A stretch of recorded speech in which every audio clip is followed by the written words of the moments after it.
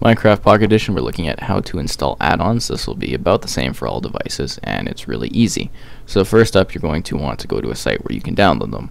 We have uh, MCPEDL here, which is what I typically use. I will also have my site that I'll show in a sec here. Uh, you pick the add-on that you want, you download the specific Minecraft type file, and you should do this basically, I'd say, on a computer, but you can do it off your phone and then you're going to download it. But I'm going to show that a bit later. Now I'm going to be showing my site, which is minecraft.gamerheadquarters.com, again, both in the description.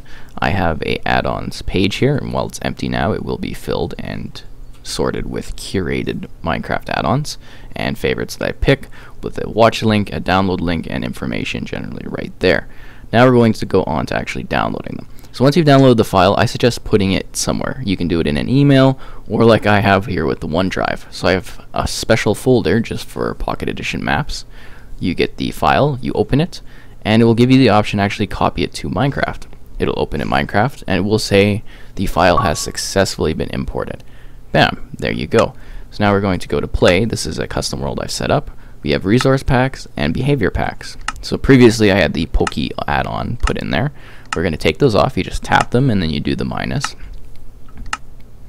Then we're going to go back here and we are going to choose the Gigamobs in order to activate it. And then we run the world and the add-ons appear. If you have any questions, let me know. This one's really cool. I definitely suggest checking it out. Uh, they're easy to do. They'll give you new textures, new behaviors, completely change the game. There's going to be more settings in the future. It's really what people make in Minecraft and how they change the files. It's readily available online. We're not going over that. But I hope this helped you actually get add-ons into your game and I will be curating and checking out more and posting them here.